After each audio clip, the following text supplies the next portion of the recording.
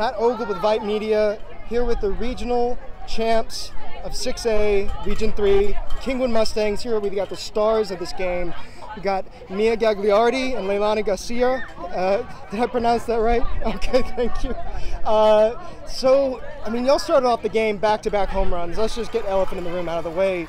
Did y'all sense victory at that point? Um, I knew the game wasn't over yet. I knew it was going to be a fight all the way from the start to the end, as y'all saw. So. Anything to add to that? I think since we were a visitor, our plan was just attack first and get ahead early, and that's what we did. I mean, yeah, you did that. You, particularly Gagliardi, you had the three-run home run that sealed the game one. How does it feel to sweep the number one team in the nation? Tell me, what's that feeling like at this point? I mean, it took everyone. Everyone did their part. Everyone had a job, and they accepted it. They completed it, and that's what got it this this far. And that's what's going to get us to a state title. Oh, that's the right mentality to have.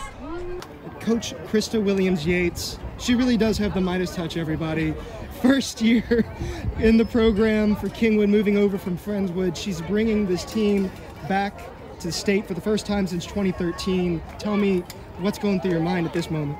Just super proud of them. Um, it's been a lot of hard work, and they believed in themselves. They never doubted. So it was just so much fun to see them realize what they're capable of. Um, I just think we all had to like buy into her process because she's been here before, and so it takes the whole team to just trust in what she does. It's one of the things she says a lot. To trust in her. I think she did fit right in. She motivated us, motivated us all from day one, and she knew we could get here, so we believed we could get here. What do you think is the secret ingredient for this group? I think we all just love each other so much, and we care for each other. We want each other to succeed, and at the end of the day, whoever's in the box, we trust them, and we believe that they can do it. And we all play for each other too.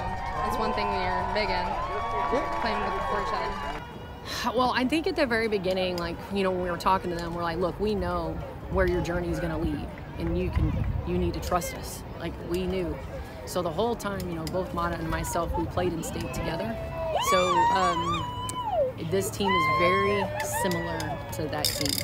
And so it's eerie. So whenever you see like a mix of youth and old and things like that and they're not afraid of the moment they've just embraced it those that was our team. They were never scared. And so this team was never scared. So that's just I mean, I know it meant so much to them, but it's mainly because I've seen how much they've worked. They know how hard they've worked. So to see it all come together is just, it's awesome for everybody. Yes, ma'am. Yes, ma'am. I mean, you got to have no fear when you're taking on the number one team in the nation Yeah. and sweeping them, I might add. That's ridiculous. Well, tremendous achievement. Being a Kingwood native, I told the girls the same thing. I'm rooting for y'all. Obviously, you're the last Houston team heading to Austin, so it's really really awesome moment for y'all. We're happy for y'all, rooting for y'all. Good luck next round. Thank you so much.